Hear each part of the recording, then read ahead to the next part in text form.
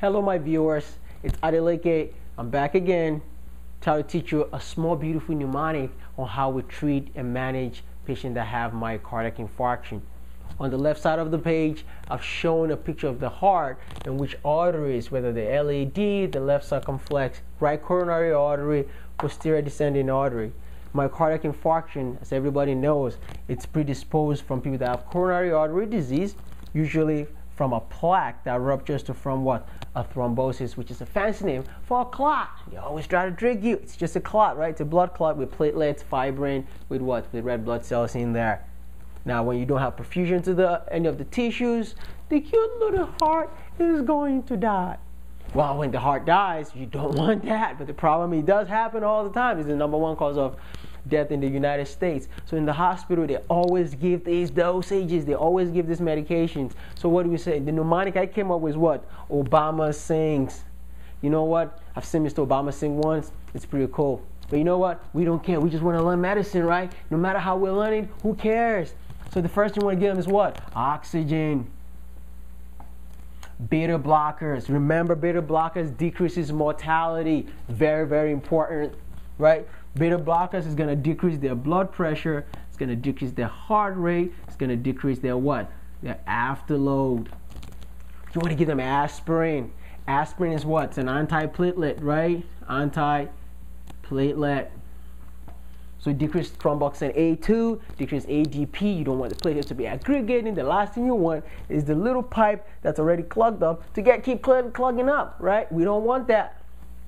The patient is in chest pain, crushing, elephant on my chest, elephant on the chest. I don't know who goes around having elephants sit on their chest, but you know what? When people have MIs, that's what happens. It's an impending doom. Problem is, you want to give them what? Morphine. Remember, morphine can cause an histamine release, and it can cause what? Venal vasodilations of their blood vessels, so it can decrease their blood pressure, but also can relieve what? Pain. You have to put them on ACE inhibitors because ACE inhibitors also gonna it's gonna decrease their blood pressure. It's gonna decrease their what afterload. Prevents what vasoconstriction over their blood vessels. And also prevents heart remodeling. Carvedilol, it's a good one. Oh, that's actually the beta blocker, so we take that back, right? ACE inhibitor, lisinopril, right? You can give them statins. Ah, statins. Statins are really good stuff, right? You want to decrease their what? LDL. You came from the what? The cheeseburger from McDonald's. Ah, stop eating that stuff. Eventually, you're going to eat enough of them to be able to form a nice, beautiful plaque in the arteries. So you want to decrease their what? LDLs. Because remember, it's the macrophage that's eating up all this what? LDLs, forming foam cells, smooth cell proliferation that forms a plaque eventually. You want to start them with heparin, right? Heparin is going to what? Help antithrombin 3 to prevent you from doing what? Clotting. Remember the clotting cascade? Go watch the video. I've made one on that.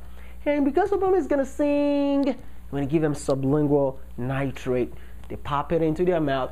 It dissolves. It causes what? Vasodilation of their coronary arteries. It's also going to vasodilate what? The venous system. So it decreases preload. It decreases the heart. It decreases the work on the heart so the heart doesn't have to work too hard.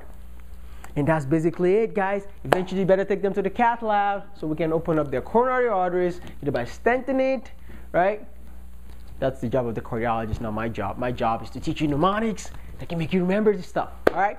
Till I see you again next time, remember, Obama sings. That is a mnemonic for today. Obama sings is the mnemonic, and that's what we give for patients that have myocardial infarction. Courtesy, Future Teaching Physician LLC. Till I see you again. Thank you for watching my videos. I love you guys. Have a great day. Bye bye.